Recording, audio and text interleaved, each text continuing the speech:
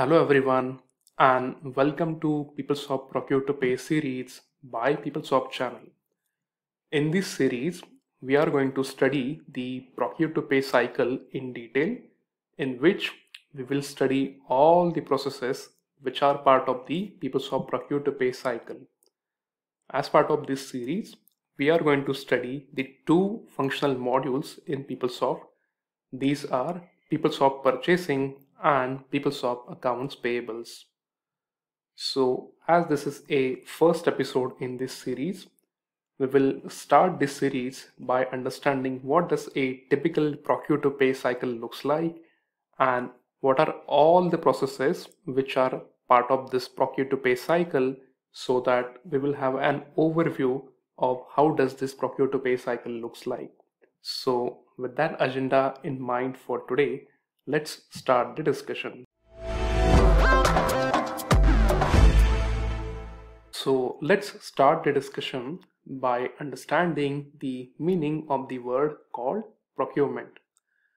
So to procure something means to order something.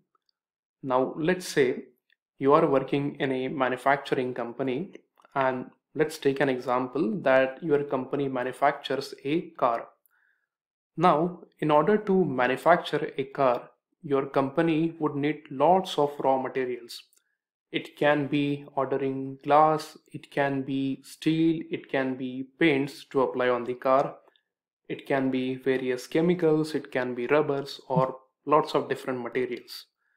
So your company would use some purchasing applications, for example, PeopleSoft purchasing, and they will procure these items from the available suppliers.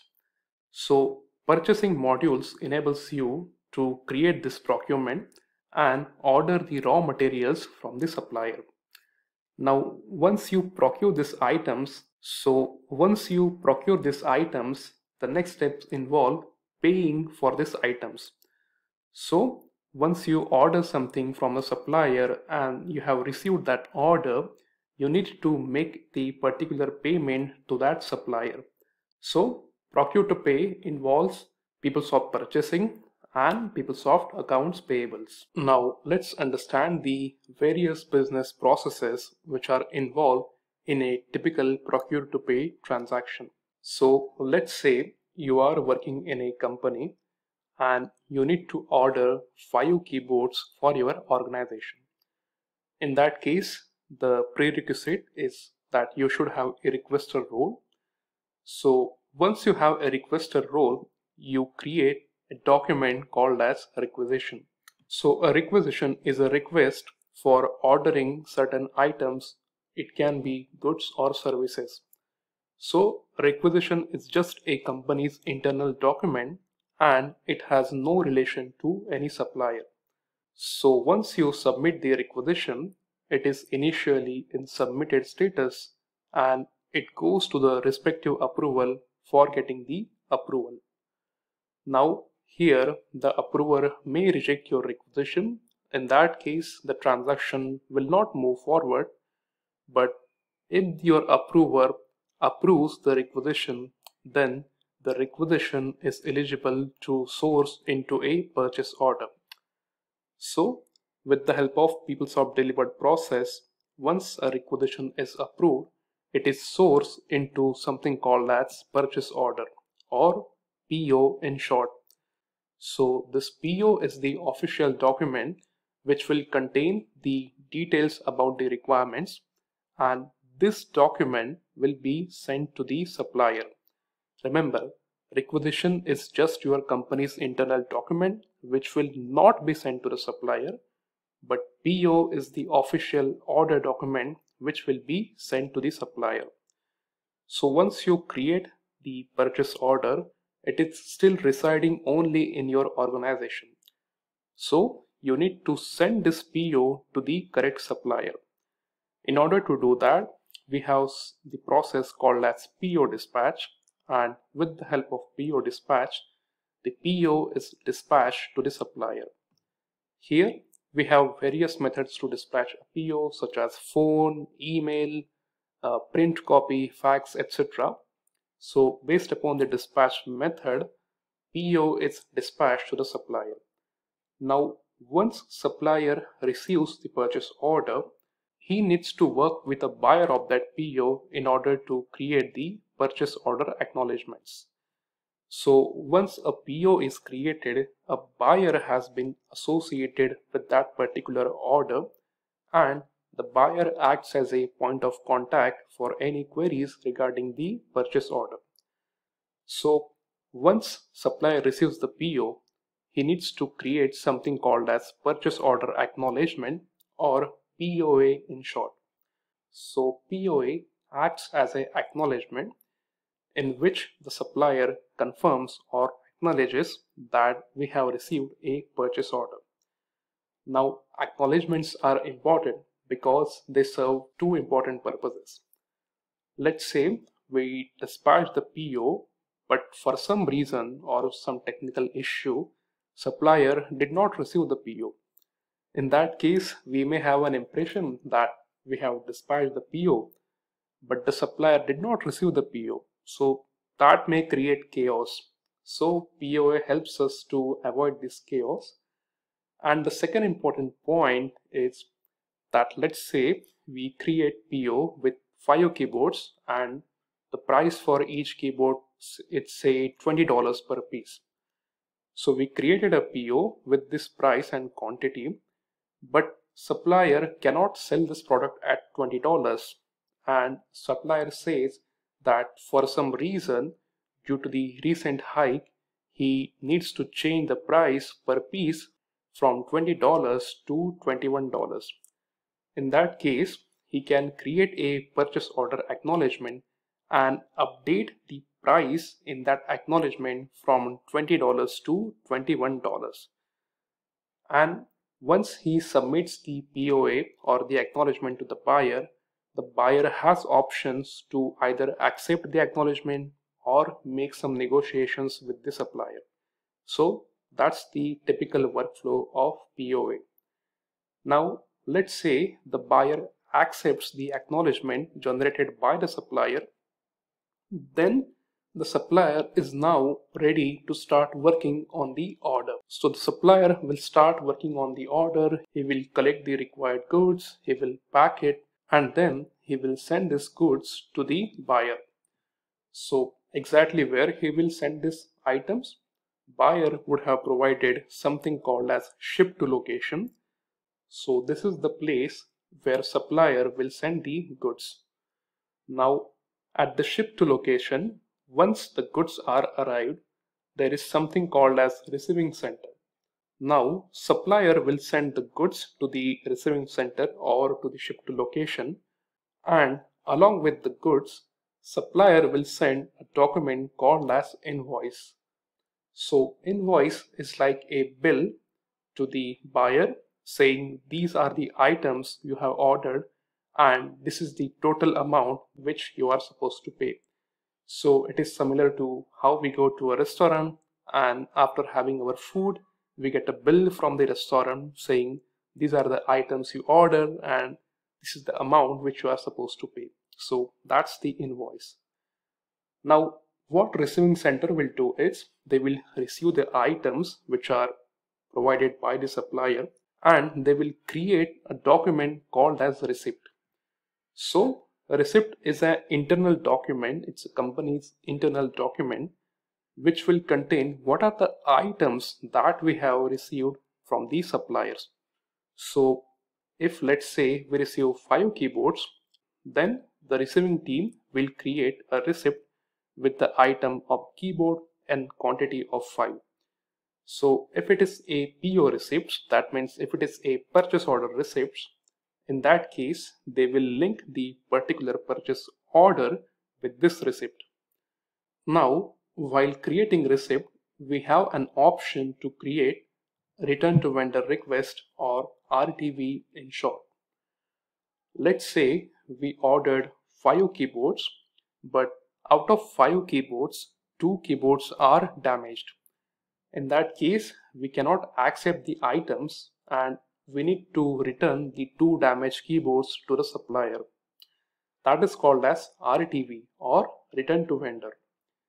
Now the receiving center will say we received 5 quantity so the received quantity will be 5 but there is something called as accepted quantity. In this case they will have an accepted quantity of 3 and they will create an RTV for two keyboards.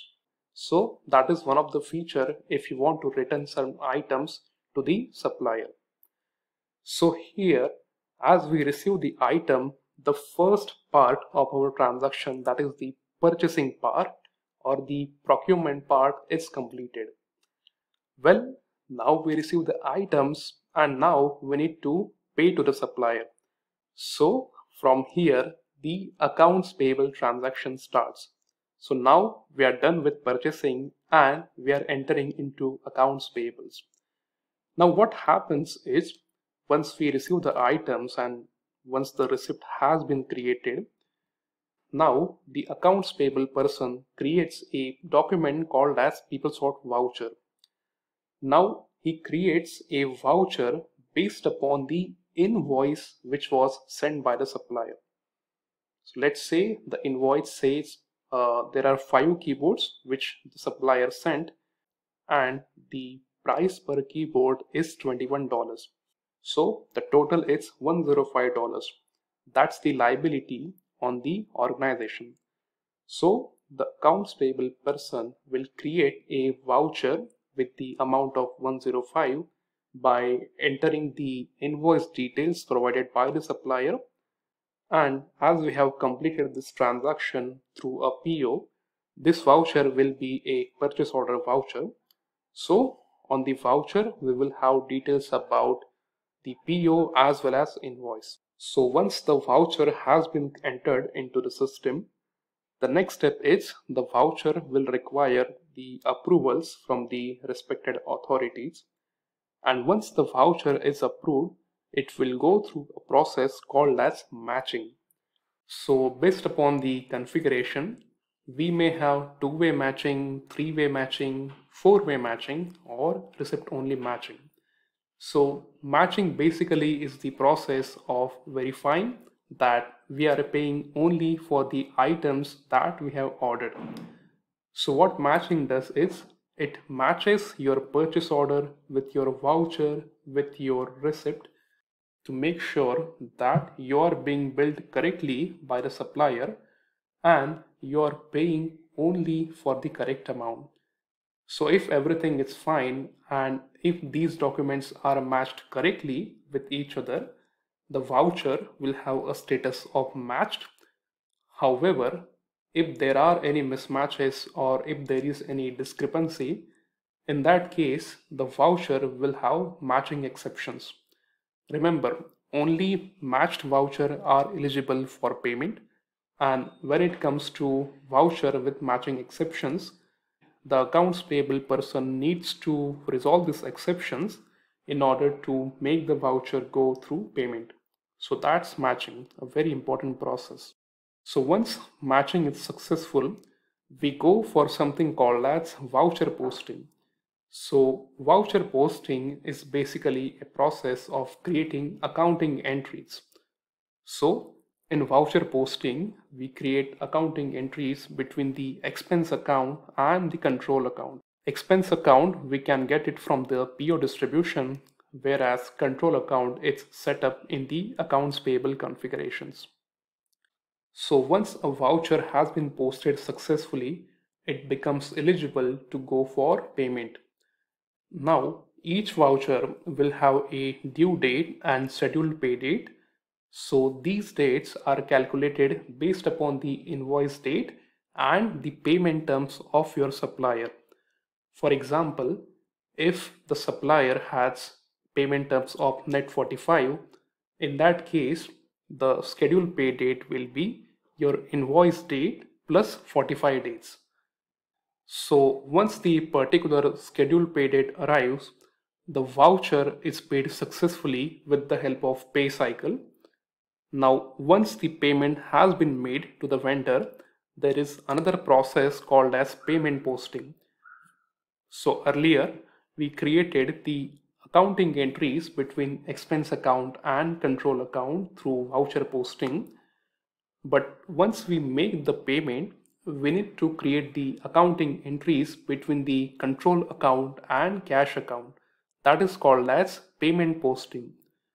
So once payment posting process is successful, we enter into the last section of this transaction and that is creating the accounting entries into general ledger. So once payment posting is completed, then a journal is created for this expense with the help of journal generator process and the journal goes through journal edit process and if everything is fine, the journal is finally posted into the general ledger. So in this way, we record the expense that we made in our organization into the general ledger. Alright guys, so that's the typical flow and these are all the processes which are involved in a procure to pay cycle in PeopleSoft system. So as part of this P2P series, we are going to study all of these business processes in detail so that we will have a fair understanding about each and every business process in a procure to pay transactions. Alright guys, that's it for today's episode. And now I hope you have some basic idea about the PeopleSoft procure to pay business transactions. In the next episode, we will start our journey with requisition in which we will understand what is requisition, who can create a requisition, and how to create a requisition. See you in the next episode. Thank you.